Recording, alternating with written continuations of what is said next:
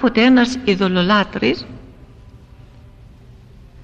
έκαμε την ερώτηση σε κάτι μοναχούς και τους είπε ότι όταν προσεύχεστε σας απαντάει ο Θεός λέει όχι εμένα λέει όταν προσεύχομαι εγώ στο Θεό των δικών μου μου απαντά για να μην σας απαντά ο Θεός στην προσευχή φαίνεται ότι έχετε κακούς λογισμούς. Στον ειδωλολάτρη του απαντούσε ο δαίμονας όχι ο Θεός.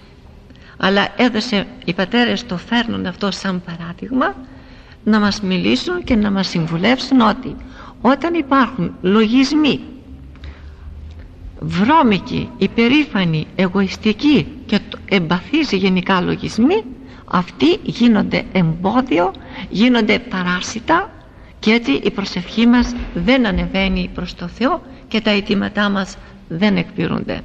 Κύριε Ιησού Χριστέ ελέησον Κύριε Ιησού Χριστέ ελέησον Κύριε Ιησού Χριστέ ελέησον Κύριε Ιησού Χριστέ ελέησον Κύριε Ιησού Χριστέ ελέησον Κύριε Ιησού Χριστέ ελέησον Κύριε Ιησού Χριστέ ελέησόν. Κύριε Ιησού Χριστέ ελέησόν. Κύριε Ιησού Χριστέ ελέησόν. Κύριε Ιησού Χριστέ ελέησόν. Κύριε Ιησού Χριστέ ελέησόν. Κύριε Ιησού Χριστέ ελέησόν. Κύριε Ιησού